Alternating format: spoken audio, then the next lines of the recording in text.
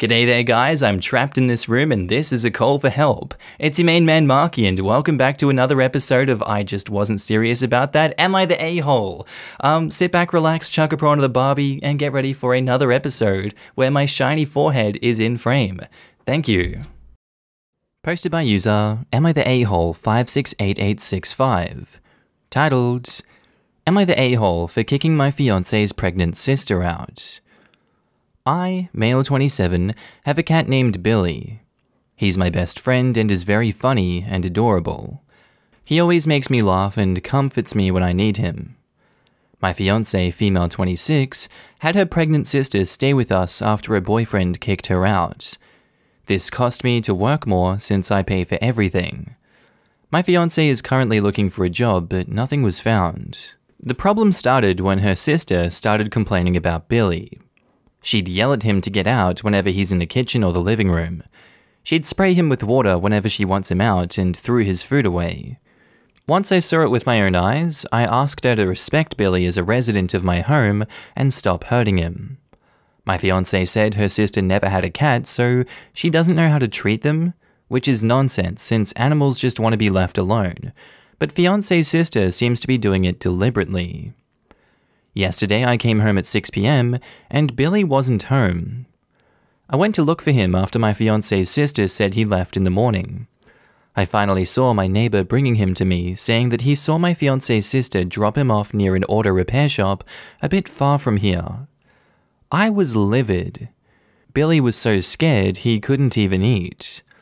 I confronted her, and she lied about not going anywhere and asked my fiance to back her up, but fiance refused. She then admitted it, but kept excusing what she did by saying she was just worried for her baby since cats aren't good to be around pregnant women. I blew up at her and told her to leave. My fiance said that's her sister and her niece slash nephew, and I should be more grateful. I argued with her about what Billy felt after what her sister did, but my fiance called me unsupportive and was overreacting, and no harm in taking Billy to stay with a friend, since her sister clearly is scared of him. There's no excuse for her actions there, and I think hands down, she's just a bad person. Your wife by proxy is also a bad person for supporting, enabling, and then shaming you for confronting her sister about it. It's almost as if she wants the cat gone too, but just doesn't want to say it. I would seriously take a step back and consider your relationships with these people if that's how they react to essentially them abandoning the cat out in the street like that. That's incredibly toxic behavior, not the a hole. Now, in the comments, Yay Darkness says, Not the a hole, ditch your fiance too. You're paying for her, her sister, and for both of them to mistreat your cat. Seems like the sister isn't getting crap from your fiance about abusing your cat. Cats can be around pregnant women, it's just the kitty litter that she needs to avoid, which, if she was actually concerned about it, she'd know. You're not their financial piggy bank, and you get to have a pet. Keep the cat, lose the women. The cat is the only loyal one in this whole post. OP, not the a hole. The fiance can follow her sister since she's so worried about her. Not the a-hole, kick them both out. It's really the only way to ensure Billy's safety. And yeah, there's no way the fiance didn't notice the cat missing all day. Not only that, but she thought it was appropriate to invite someone who couldn't pay to live with them while not paying rent herself. The entitlement. It's much easier to end it before fiance becomes wife. Congratulations on seeing their true colors before it got more complicated with marriage especially if you consider what will happen if fiance ever gets pregnant herself. Will this be her stance then too? And not the a-hole, holy cow. Kick her out, and frankly, I would think twice about marrying anyone that could defend that kind of behavior. Exactly. And excuse it by saying she's never had a cat before and she doesn't know how to treat them. What a crock of crap. She's never had a baby before either, and I'd hope she doesn't drop her baby off at the auto shop before slipping off back home. So what do you guys in the comments think about this one? Because I feel like it's a fairly open shut case of not the a-hole, but there could be some weird opinions out there. Our next post is by user Disastrous Tie 449 titled Am I the a hole for not babysitting for my sister in law anymore after she called the police on me? So, my sister in law and I have an agreement. She watches my kids three days a week, and I watch hers three days a week. This agreement has stood since March 2020 without issues, and any changes have been discussed weeks in advance. A couple weeks ago, we had an argument. The next day, I brought my kids to her house, dropped them off, and left. I didn't speak to my sister in law because when one of us is in a rush like I was, it's standard for us to just let the kids out, stay in the car, and drive off when you see the door open. I drove to work, about 40 minutes away. When I got there, I had about 20 missed calls and even more texts, all from my sister in law, all saying that she didn't want to watch the kids given our argument. Her first text arrived a little before I got to her place, but I didn't see it until I got to work because my phone is always on silent when I drive. I rang her, said I'll arrange to work from home, then come and get the kids. She said I have 45 minutes to get back to her place or she would call the police. I told my supervisor the situation, and she said I could leave after I did a few things. This delayed me 20 minutes. When I got back to my sister in law's just over an hour later, she said she'd already called the police when the 45 minutes ran out. I then had to stick around long enough to tell the officer that I didn't abandon my children. There was just a communication issue.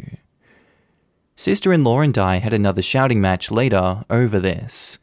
I arranged other childcare for my kids, and I've been mostly ignoring her since. However, she reached out and apologized, and has asked if I'd be willing to go back to the old childcare arrangement. I've told her to go F herself. I work with kids. If I got child abandonment on my record, I would never work in my field again, which she knew, and her calling the police was a massive overreaction. So if she needs a babysitter, she can go whistle for all I care. She said that if I checked my phone, talked to her that morning, or came back when I was supposed to, she would not have needed to call the police, and I did this to myself, as she gave me a warning with that first text, and I could have checked my phone or spoken to her directly when I got to her place. All of which she said she would have done if she were in my position, given that we'd argued the night before. I've told her that if she thinks I'm babysitting for her, she's effing delusional and she's on her own. Because of my refusal, it's looking like she may have to quit her job because my brother and her would pay more for a babysitter than they would earn from her working. My mother and brother have both called me an asshole because there were no consequences to her calling the police, and that while she overreacted, she apologized. So if I really forgive her, I'll let us move on. This income loss would also mean that she, my brother, and my niece and nephew might need to move somewhere cheaper, that my brother might have to take on extra hours at work, and in an extreme scenario, they may even be completely unable to live independently, meaning they'd have to move in with her parents, who live several hours away. Am I the a hole? It's really unfortunate that she wasn't able to realize just how privileged of a position she was in with you, helping out babysitting, and that she doesn't recognize that she was being crazy here. 20 missed calls and multiple texts about enough? I'd say that's a gross overreaction to OP dropping the kids off before work, you know, because of the argument. And I feel gross by three phone calls if I'm in a sour mood with someone. 20 is just toxic, unjustified rage. Calling the police is just worlds apart from a normal, justified reaction in this case. She knows that OP works in childcare, and she knew that threatening child abandonment would ruin her reputation and entire career that she's built up. If in fact her world does come crumbling down and they have to move hours away, then she 100% deserves it. She's an adult who's responsible for her own actions. I feel absolutely no sympathy for her. I would laugh at her if this in fact does happen. I only feel bad for her kids, who have to live and deal with the consequences of her actions. Not the a-hole OP, you did and are doing the right thing by cutting off that childcare agreement. Now in the comments, Unit Healthy says, not the a-hole. The only delusional person here is sister-in-law who calls the police on an essential worker out of spite? Let her struggle to find childcare or lose her job. You could have easily lost yours. And OP replies, In the name of full disclosure, I'm not exactly an essential worker, but my service has remained open, and I need to go into my workplace a few days a week to get confidential documents, among other things. It could have been bigger than your job. It could impact the custody of your kids. Your family is delusional if they think you're the a hole. Your sister in law's actions have consequences, and would be lucky if you ever let her close to your kids ever again. If your mum or anybody else complains that you do not look after the kids, they can look after them themselves. This, sister in law potentially screwed with custody of the OP's kids, and all just because she was grumpy? Clearly, she had no concerns over the safety of the kids, but dragged the police into a personal argument. Had the police taken this more seriously, the OP might have had to explain herself to social services. What the sister in law did is completely unforgivable. That's the thing with tantrums and lashing out. She's not five. She knew what she was doing, but since it seems like nobody, apart from OP, holds her responsible for her actions, she didn't care about the damage she could cause. Even if OP would find it in her heart to forgive her, the fact that sister in law's judgment and reactions are this extreme makes her a bad person to babysit. Not the a hole. Don't let her reel you back in. She still blames you for her calling the police, which means she isn't sorry and would do it again. Her losing you as a babysitter is a consequence of her own actions. Forget that part. That's essentially a non apology if it ever was one. It's like, I've nuked this bridge, but I'm sorry if you're offended. Where's my childcare? If someone threatened my custody of my goddamn children, they would be lucky to only be dead to me. The real consequences of the police call that OP's family is ignoring 1. She had to leave work and look unprofessional. 2. She had to deal with the police, which is humiliating and a waste of police resources, since the kids weren't in danger or abandoned. Abandonment is a serious accusation.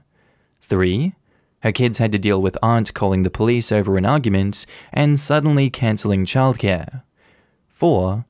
If an argument warranted her not watching your kids at the drop of a hat, what she did to you was larger and warrants no contact, especially since she gaslit you. And 5. Apologies don't warrant automatic forgiveness, especially a half-assed apology too. Sister-in-law needs to live with the consequences of her actions. So what do you guys think about this one down in the comments? I would love to know what you would have done in this situation. And has this happened to you before?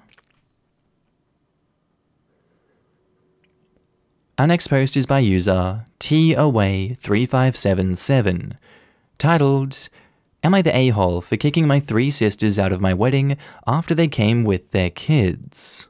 My wife and I got married two weeks ago. We wanted a child-free wedding, so we've let everyone know. My family, in-laws, friends, and relatives, and everyone was okay with it, except for my family. I have three sisters, and all with kids from 2 to 10. My mum said it was illogical to not allow kids since 1. This never happened in the family, and 2.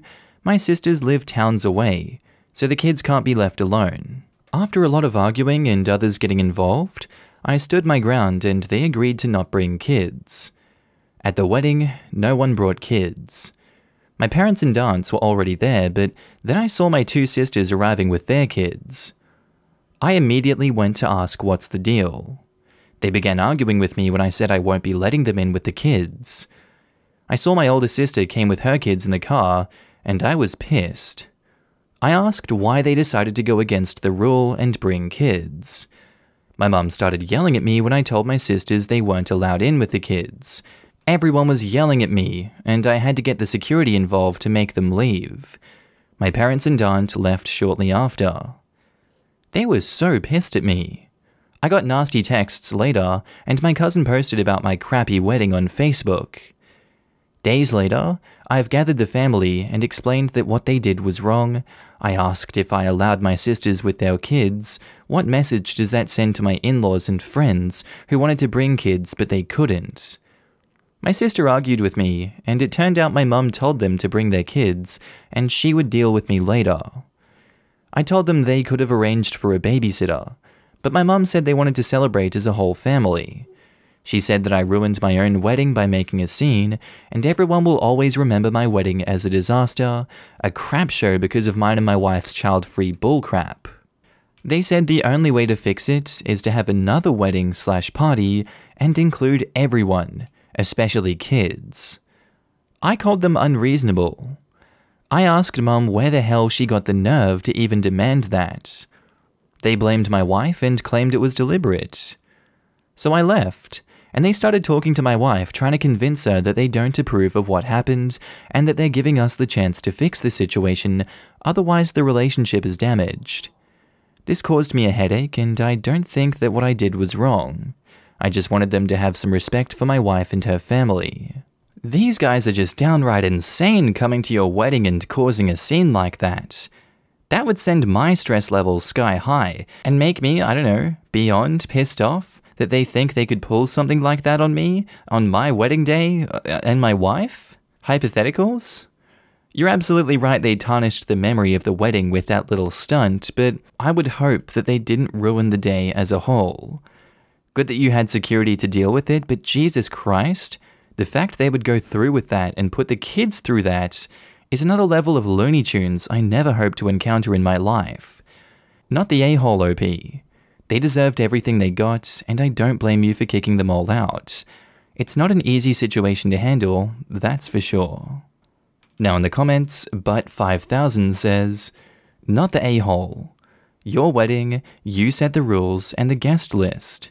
The kids weren't on it.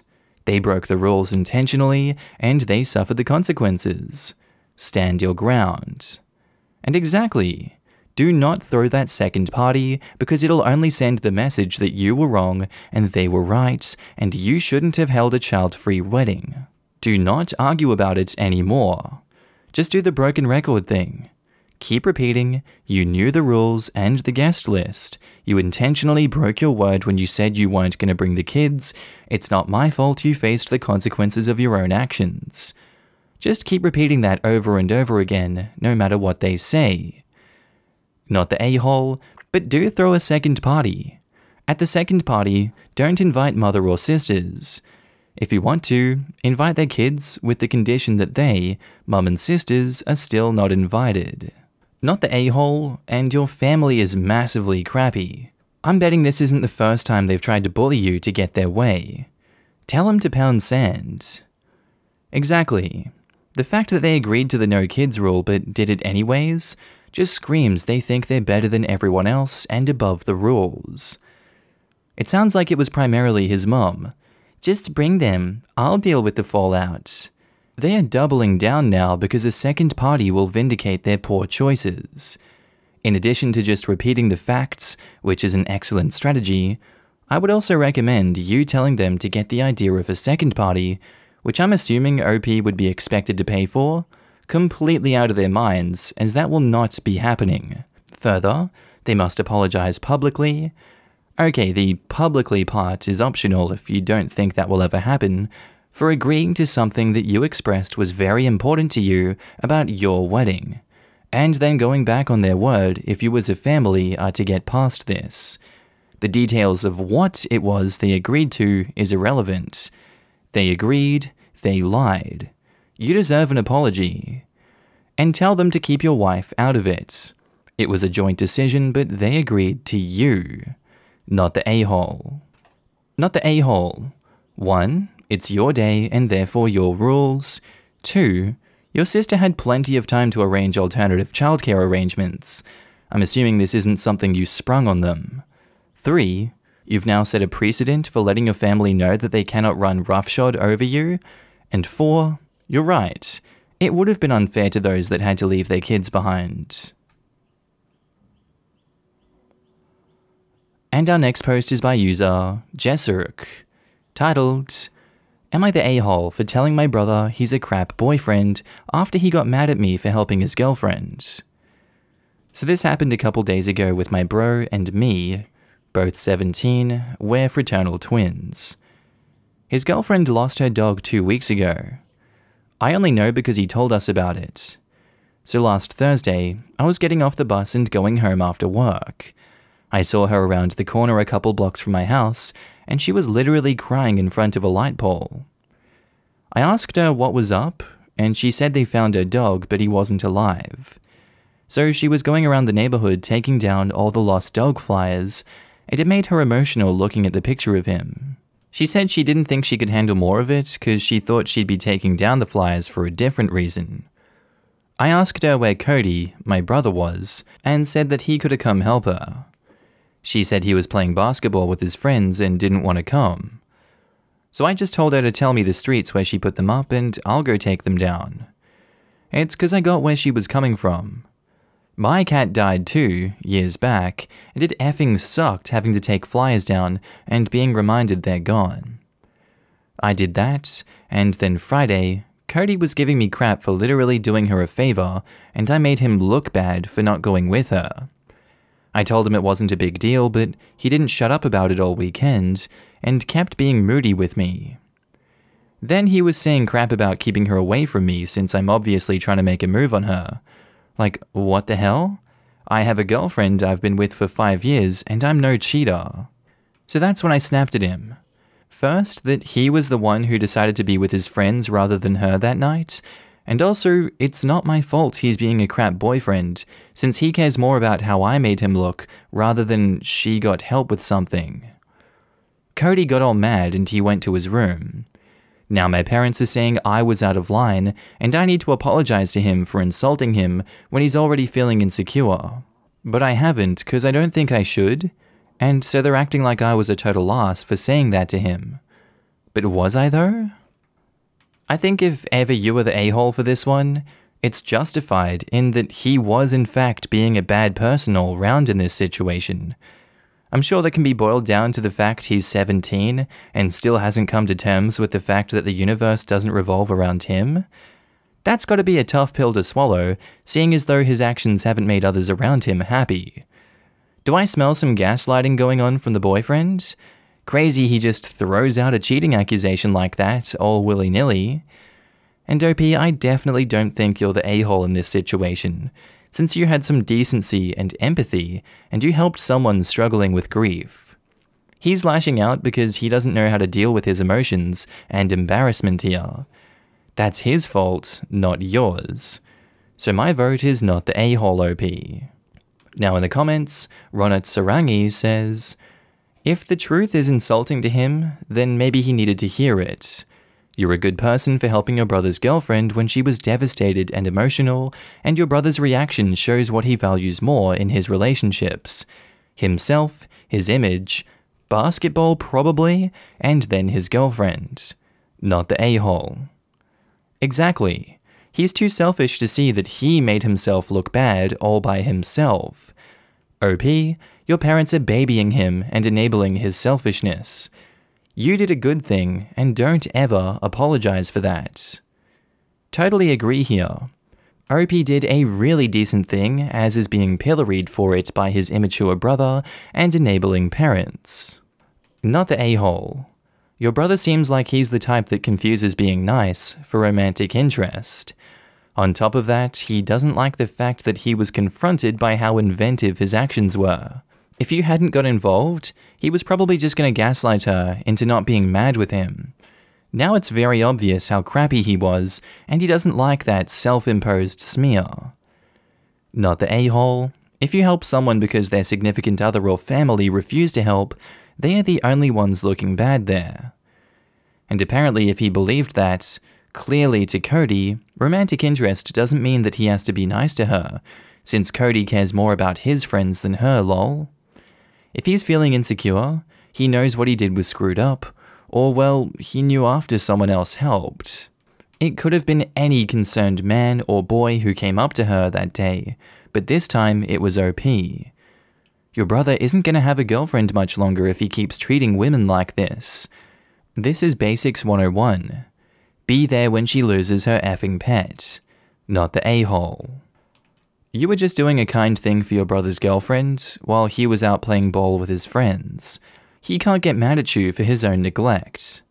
Also, damn, you had a girlfriend since you were 12? Good on you, bud. And OP replies, Haha, yeah, first girlfriend and everything. Plan to keep it that way, smiley face. Keeping the same one forever is a rare thing, but one of my friends did it. I met him in college. We're all in our 60s now, and he's with his wife, and they're happy. Alright guys, I think that's where I'm going to end today's video. If you need a good laugh, please do check out my second channel, Markee2, links down in the description below, or it's going to appear somewhere on the screen here at the end, little bubble with my face on it. As always, a big shout out to my Patreon and channel members. Your faces are surrounding me right now, and I love to have you guys with me, and down in the comment sections of each and every video, and just knowing that you're always there to support me. It's a humbling and lovely feeling. And rest assured, I do see you, and I do notice your support, and I thank you every day for being here and helping me along this journey. Not much else to say besides that, guys. Um, thank you for sticking around to the end of the video. I do hope that you have a good day, night, sleep, whatever you're up to. I will see you in the next video, and thank you again. Bye.